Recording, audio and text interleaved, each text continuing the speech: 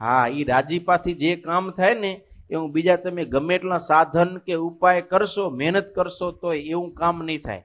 માટે મોટા પુરુષોના આશીર્વાદની, એના રાજીપાની હર હંમેશા આપણે જંખના આશા રાખવી.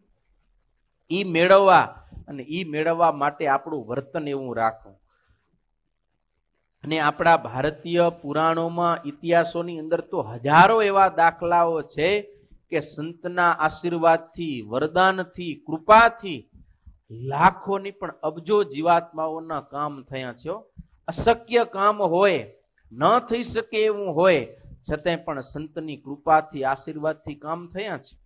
અને ખાલી જૂના પુરાણોમાં ઇતિહાસોમાં છે એમ નહીં, અત્યારના સમયની અંદર પણ ઘણા બધા જીવાત્માઓને એ સંતના આશીર્વાદથી અનેકવિધ કામ થાય છે.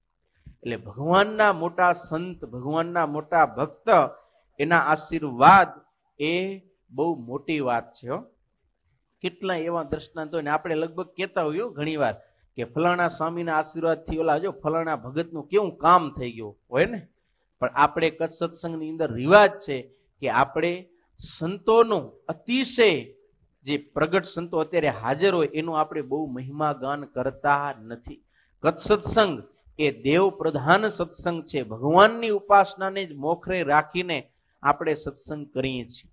પણ એનો ભાવ એવો નથી કે સંતનો મહિમા નથી સંતનો ખૂબ મોટો મહિમા છે. ભગવાન જેવા એ સંત છે. પણ આપણે વિવેકના અભાવથી ક્યારેક સંતનો જ અતિ અતિરેક મહિમા કરવા જઈને તો થોડી ઓછી સમજણવાળા એ પછી બીજો અર્થ કરીને એ સંતને ભગવાન કરતાં પણ જો આગળ લઈ જાય તો એ ઉપાસનાની બાબતમાં બહુ મોટી ખોટ આવે આવા ડરથી આપણે ભગવાનને જ અગ્રેસર રાખી અને કચ્છ સત્સંગની અંદર વિશેષ ભગવાનનો જ મહિમા આપણે પ્રતિપાદન કરીએ છીએ. પણ ભગવાનની સમાન જ એ સંત જીવાત્માનું કલ્યાણ કરનારા છે.